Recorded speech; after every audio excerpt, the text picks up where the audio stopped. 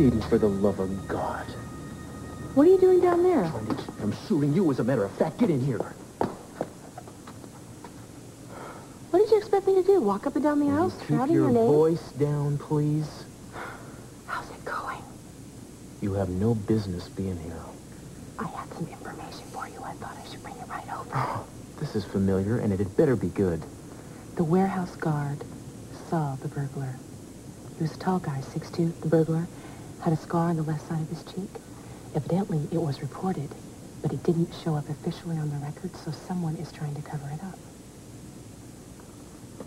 You came all the way down here to tell me that? Well, I thought maybe he would be dressed as a normal worker and he'd be, you know, wandering around. You could spot him. normal workers? The normal workers went home at 6 o'clock. Well, Where'd you find this out, anyway? what difference does it make? I don't trust that kind of information unless I know the source. Well, in this case, if you do, then you trust it even less.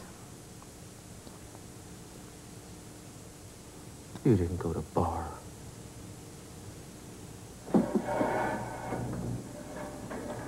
Um,